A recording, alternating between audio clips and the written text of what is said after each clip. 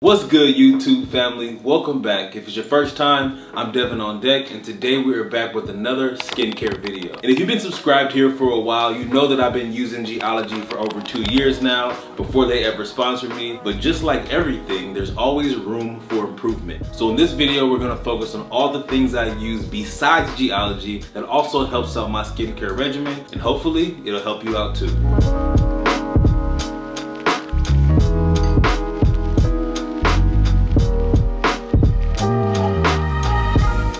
One on this list for my skincare arsenal is tea tree oil.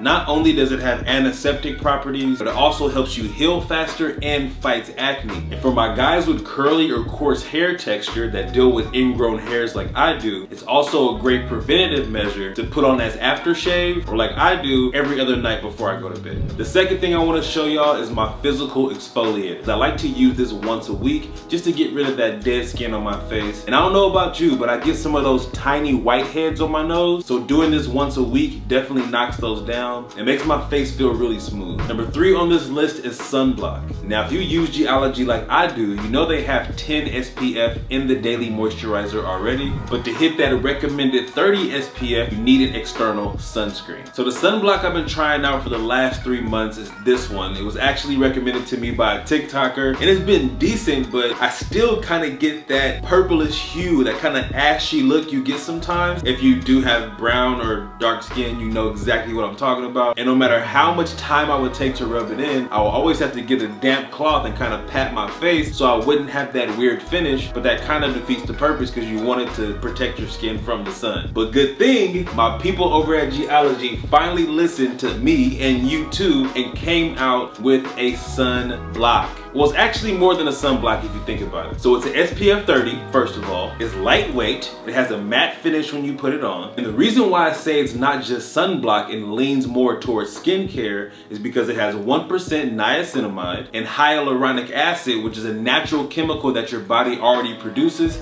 to help you retain moisture in your skin. So you're harnessing that power for your face plus blocking the sun at the same time. And honestly, Y'all should give yourselves a round of applause because without you, this product wouldn't exist. I'm not sure if you know, but Geologie is a smaller company and they take time to read all your comments in all my videos, other creators' videos, and the biggest piece of feedback is we want a better SPF, and they did it. Neutrogena ain't doing that for you or me, but hey, that's just me. I just like when companies listen to me as a customer. But anyway, if you wanna check out this sunscreen, the new SPF 30 by Geologie, or the entire regimen, which I've already told you about in numerous videos, I have a link in my description that will already apply a 20% off coupon for you. Just click the link, it'll take you right there. And yeah, let me know what you think when you try it. Another secret weapon of mine is my evening serum by The Ordinary. It's 10% niacinamide and 1% zinc. And as you know, niacinamide is vitamin B3, as I mentioned earlier, and it really helps break down a lot of that dead skin, reduce blemishes, acne scars and stuff. This is gonna help get rid of those just a little bit faster. And I kind of weave it in my normal evening routine. So I wash my face as usual, using Geologie of course. Then I use my under eye cream, which has helped me tremendously with my dark under eyes. And then I put the serum on. It's a nice, even, thin coat on my face. Then I lock it in with my usual evening moisturizer. And last but not least on this list, to stimulate hair growth, especially in my beard area where I know I'm a little bit lighter, is peppermint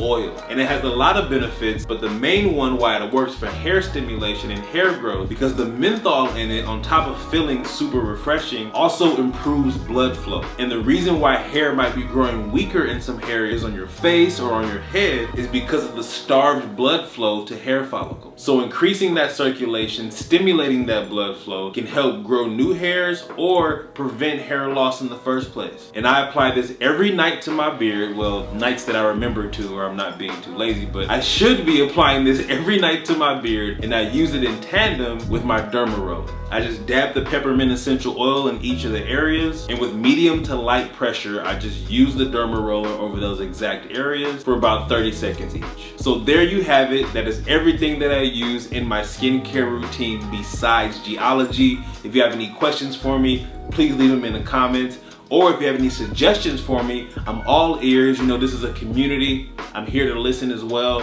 I'm always learning and adding to my knowledge. So anything you want to tell me, please let me know in the comments as well. And I appreciate your time for watching this video. And I see you on the next one. Peace.